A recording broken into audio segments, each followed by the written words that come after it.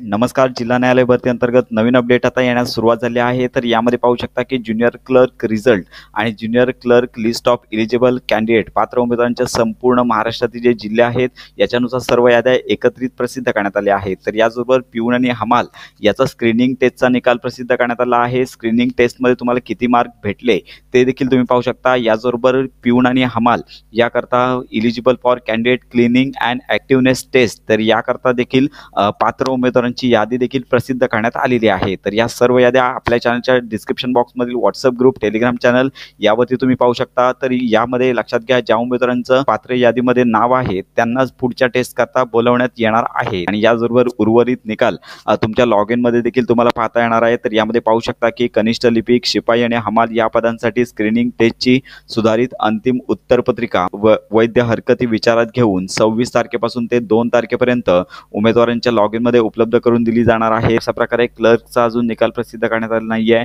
तर येत्या काही दिवसामध्ये लवकरच निकाल प्रसिद्ध करण्यात येईल आणि एकत्रित ह्या गुण याद्या तुम्हाला दोन्ही पाहून घ्यायच्या आहेत. निवड यादीमध्ये ज्यांची निवड झाली आहे तर यांच्याकरता वेगळं शेड्यूल स्वतंत्र प्रसिद्ध केलं जाणार आहे. त्यामुळे ही महत्त्वाची माहिती इतरांपर्यंत नक्की शेअर करा. या संदर्भात सर्व अपडेट्स मिळवण्याकरता आपल्या मराठी अपडेट गुरु या यूट्यूब चॅनलच्या कनेक्टमध्ये राहा